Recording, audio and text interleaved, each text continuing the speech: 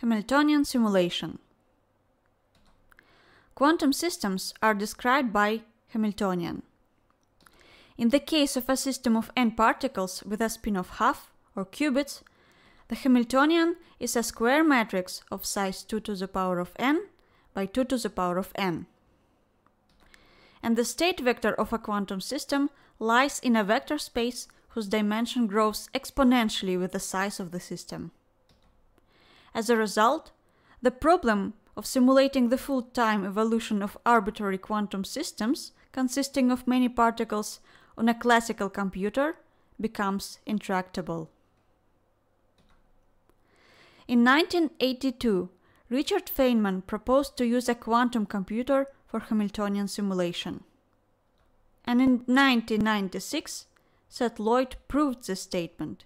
He showed that the universal quantum computers can calculate the evolution of a quantum system efficiently, which means with polynomial time and memory resources in the size of the target system. Indeed, a quantum computer with fully operational 50 qubits can store a state vector which consists of 2 to the power of 50 complex numbers. Using a single precision floating format, or float 32, to store the real and imaginary parts of each vector component, this would correspond to something like 9 petabytes of information, which roughly corresponds to the random access memory of modern supercomputers. Thus, the problem of simulating the dynamics of quantum systems was the original motivation for quantum computers and remains one of the most important practical applications of quantum computation.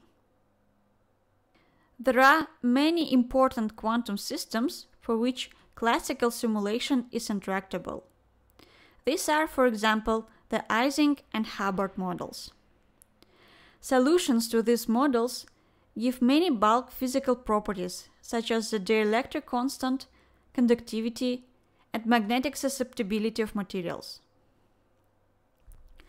Another important application, which is uniquely suited to quantum computation because of the computational complexity, is the simulation of atoms, molecules, and other biochemical systems. This includes the calculation of the ground state energy of large systems and the study of the dynamical behavior of an ensemble of molecules, or complex molecular behavior such as protein folding. The evolution of a closed quantum system is unitary, which means reversible, and is given by the time-dependent Schrödinger equation, where h is the Hamiltonian of the system and h bar is the reduced Planck constant. This is an axiom of quantum mechanics. The solution of the Schrödinger equation is a description of what state a system will be in after a Hamiltonian has been applied to it for a certain period of time. In the case of a time-independent Hamiltonian, it takes the following form.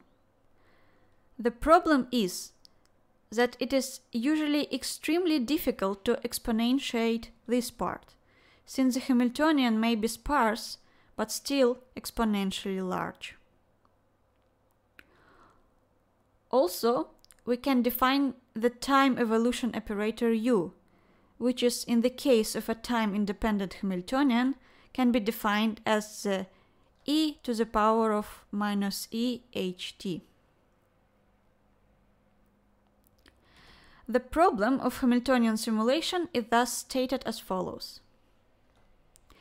Given a Hamiltonian H, which is a square Hermitian matrix of size 2 to the power of n by 2 to the power of n, acting on n qubits, at time t and maximum simulation error epsilon, the goal is to find a sequence of computational gates that implement time evolution such that the spectral norm of the difference between simulated and the ideal evolution is less than epsilon.